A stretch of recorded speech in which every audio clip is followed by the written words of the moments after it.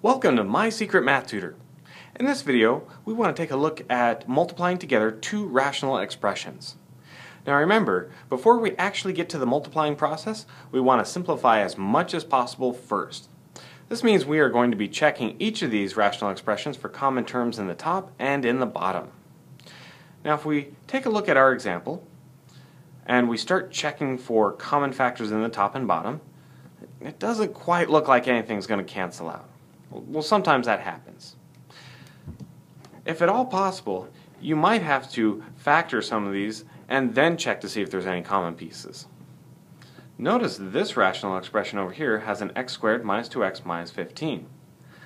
I think that factors.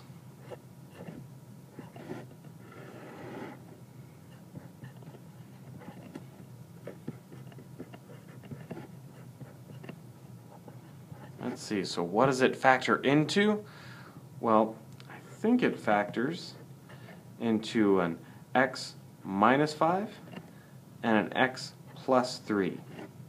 Let's FOIL these guys to, to double check. So x times x, x squared. Outside is 3, inside is negative 5. Yep, those combine to give me the negative 2. And negative 5 times 3, negative 15. Perfect. Now notice, when you look at that piece factored, now we can actually see a common piece in the top and the bottom. Looks like I have an x minus 5 in both places.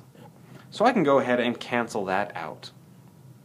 Alright, now as I go checking for other common terms, it looks like I don't have any. This means I can actually go ahead and carry on to the multiplying process.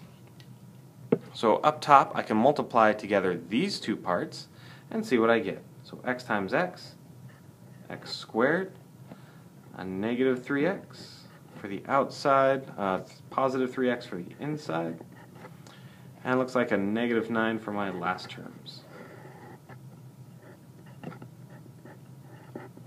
Alright, looking pretty good.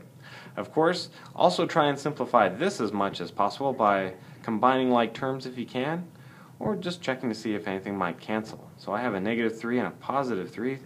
Those guys are gone. And this will leave me with an x squared minus 9 in the top and an x plus 9 in the bottom.